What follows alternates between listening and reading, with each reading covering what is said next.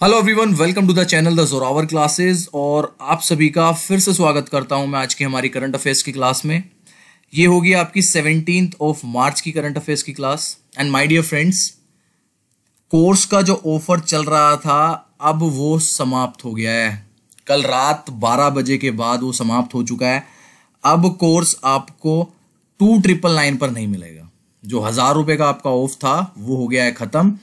अब ये कोर्स आपको दिया जाएगा थ्री फोर डबल नाइन हमने हज़ार नहीं, पाँच सौ रुपए ही बढ़ाए हैं कोर्स पे।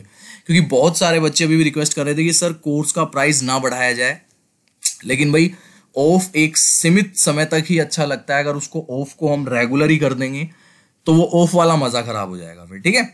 तो भाई, अब हमने, मैंने अपनी टीम से बात करके इस पे सिर्फ़ पाँच सौ रुपए बढ़ाए हैं आपके। तो अब जो है आपको course three four double nine में मिलेगा।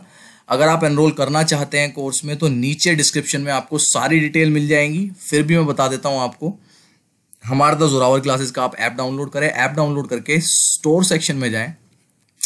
जैसे आप स्टोर सेक्शन में क्लिक करेंगे तो आपको केवीएस पीआरटी का कोर्स मिलेगा। उस पर क्लिक करते ही आपके पास आएगा बाय का ऑप्शन और आप बाय पे जाके मल्टीपल मेथड्स आप पेटीएम से कर सकते हैं, है ना? आप फ़ोन पे से कर सकते हैं। जैसे भी आपको ठीक लगे, बहुत सारे आप कार्ड से कर सकते हैं, आप इंटरनेट बैंकिंग से कर सकते हैं, आप गूगल पे से कर सकते हैं, जैसे भी आपको हो, सहूलियत हो, उससे आप पे कर सकते हैं। और आप उसके बाद स्टोर सेक्शन में ही तुरंत दोबारा जाएँ तो आपकी जो वीडियोस अनलॉक्ड हैं, वो सारी अनलॉक हो जाएँगी और आप हमारी वीडियोस देख सकते हैं। चलिए फ्रेंड्स अपना आज का सेशन स्टार्ट करते हैं। सबसे पहला क्वेश्चन लेते हैं, उपभोक्ता मामले। खाद्य एवं सार्वजनिक वितरण मंत्रालय ने प्रवासी मजदूरों की मदद हेतु किस ऐप को लॉन्च किया? ये हो गया जी star question ministry of consumer affairs and food and public distribution has launch which app to help migrant labourers और ये है भैया मेरा राशन ऐप। मेरा राशन ऐप जो है उन मजदूरों के लिए लॉन्च किया गया है, जो माइग्रेट करते हैं, एक जगह से प्रवासी होते हैं, अपने जैसे मान लो बिहार से दिल्ली में काम करने आए हैं, या कहीं एमपी से मुंबई में काम करने गए, जहाँ भी है मतलब प्रवासी है माइग्रेंट होते हैं, एक जगह से दूसरी जगह पे जाते हैं। तो उन लोगों के लिए मेरा राशन ऐप जो है लॉन्च किया गया है। सरकार ने प्रवासी मजदूरों की मदद करने के लिए राशन ऐप लॉन्च किया है, मेरा राशन ऐप। भारत सरकार द्वारा शुरू की गई one nation, one ration card योजना का ही हिस्सा हिस्सा है। इसे उपभोक्ता मामले, खाद्य और सार्वजनिक वितरण मंत्रालय द्वारा लॉन्च किया गया है।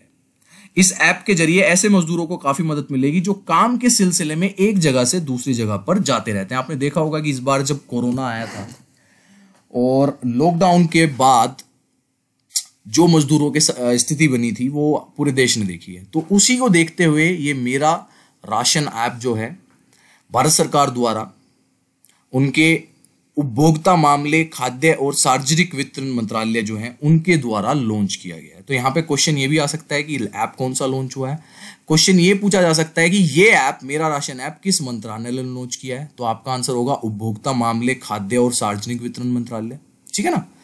तो भाई, ये सब चीज़ें और किस योजना पे मतलब जो आपकी one nation one ration card की योजना चल रही है, उसी का ये एक क्या है? हिस्सा है। ये चीज़ भी ध्यान रखनी है। ठीक है ना? बन गए ना तीन चार क्वेश्चन एक ही क्वेश्चन से। तो इस तरीके से ही अपने नोट्स बनाने आप शुरू करें या करते हैं पहले से तो अच्छा है, लेकिन क्वेश्चन जो है, इसी तरीके से हमें पढ़ना है।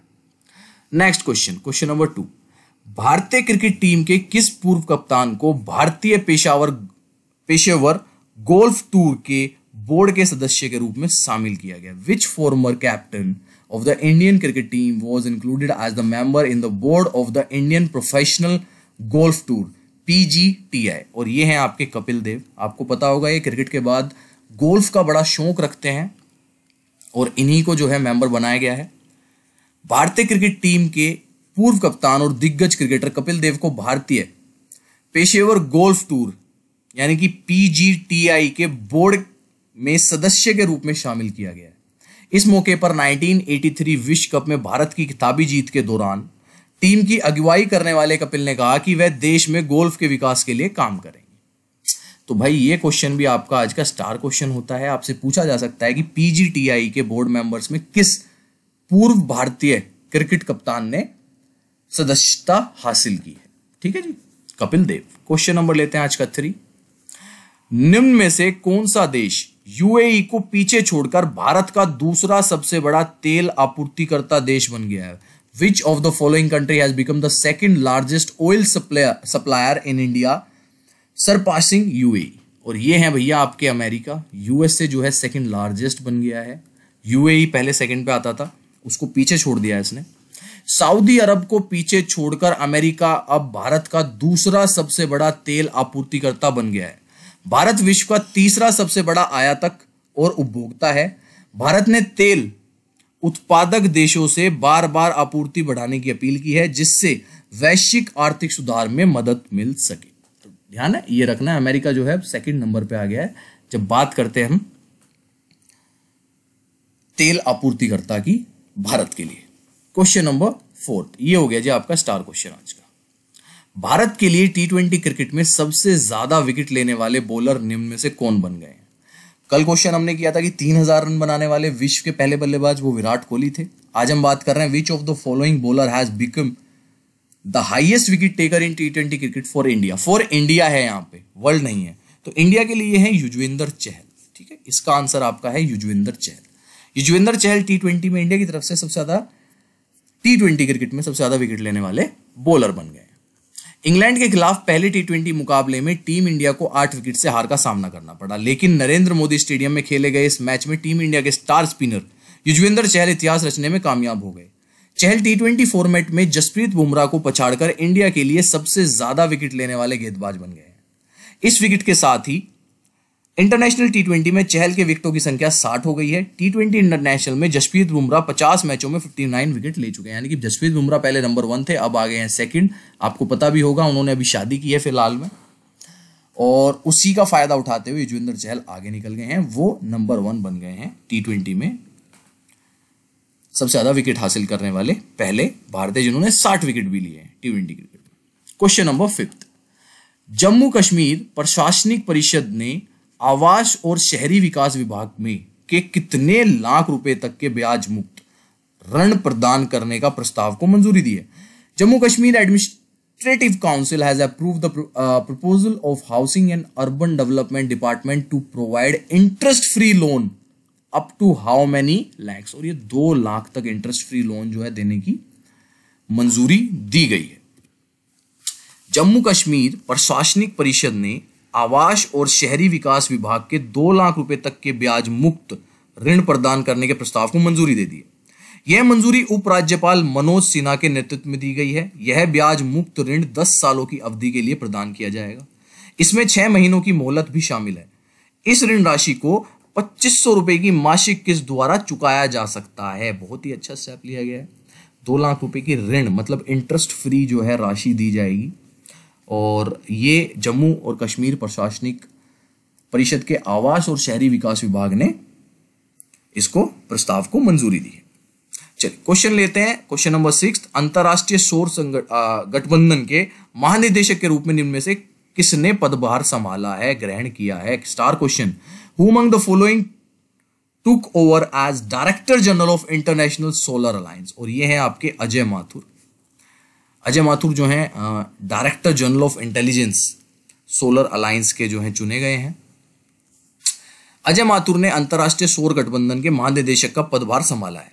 जलवायु परिवर्तन पर प्रधानमंत्री की परिषद के सदस्य, माथुर, टेरी और बिजली मंत्रालय के अधीन आने वाले ऊर्जा दक्ष ब्यूरो के महानिदेशक रह चुके हैं।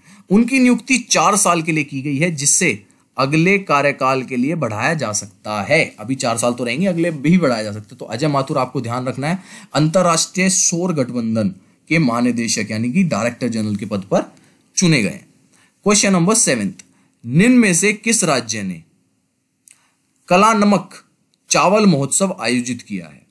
In which of the following state will the Kala Namak rice festival will be organise और यह है आपका उत्तर प्रदेश। कला नमक से याद रखना, कला नमक राइस फेस्टिवल कहाँ पे? उत्तर प्रदेश में। उत्तर प्रदेश के मुख्यमंत्री योगी आदित्यनाथ ने घोषणा की है कि राज्य कला नमक चावल महोत्सव का आयोजन करेगा। कला नमक चावल महोत्सव में रंगारंग सांस्कृतिक कार्यक्रम भी आयोजित किए जाएँगे, जिसमें स्थानीय कलाकारों एवं छात्रों को अपनी प्रतिभा प्रदर्शन का मौका मिलेगा। कला नमक चावल बुद्ध के महाप्रसाद के रूप में प्रतिष्ठित है। तो ध्यान रखना है, कला नमक से याद रखना है आपको Uttar Pradesh.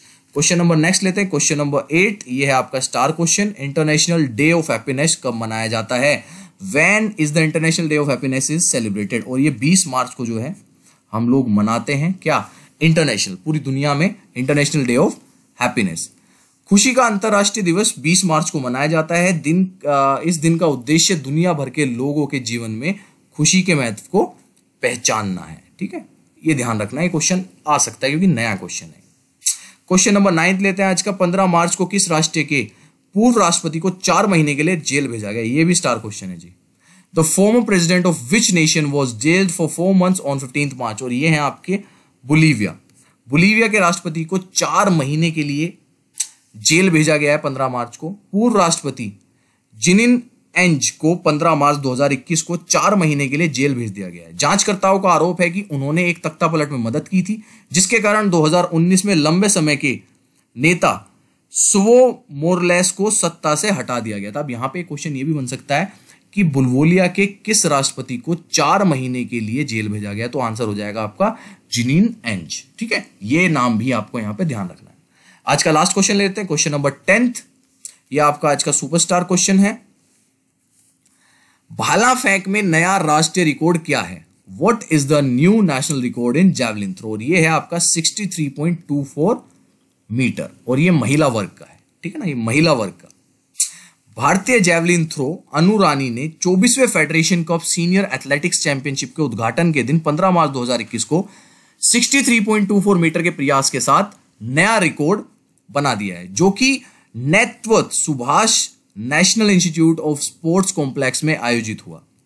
एक अद्भुत प्रदर्शन के बावजूद अन्नू रानी 64 मीटर के ओलंपिक योग्यता अंक को पार करने में विफल रही। अगर इनके 64 वाला हो जाता तो ये ओलंपिक के लिए क्वालिफाई भी कर जाती। बट फिर भी एक जो है नेशनल रिकॉर्ड इन्होंने कायम किया है। नाम याद रखना है आपको।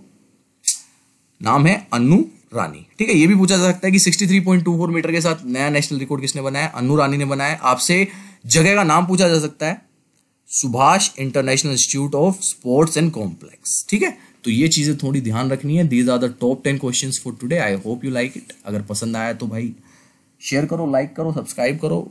बाकी मैं बोलता नहीं हूँ चीज़ कभी, ऐसी थोड़ा सा बोल रहा था तो बोल दिया। और बाकी भाई कोर्स में एनरोल करना है तो नीचे सारी डिटेल्स आपको मिल जाएगी। अब आपको उसमें एनरोल करेंगे थ्री फोर डबल नाइन में। ठीक है जी? चलिए एवरीवन टेक केयर बाय